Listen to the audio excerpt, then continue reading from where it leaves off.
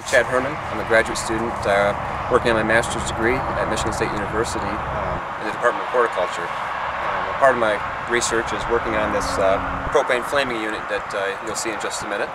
And what we're trying to do is uh, maximize weed control efficacy while minimizing uh, crop injury. And we're doing that by using these uh, stainless steel shields to isolate the, the propane torch, the heat source, um, from the crop rows. So I'll do a demonstration. You'll see how that works in, just a minute. All right, so the back of the unit here, we have four stainless steel shields. And what we're trying to do is uh, use these shields to direct the heat between the crop rows. So we're trying to, in this case, keep the snap beans between the shields and kill all the weeds that are between the rows.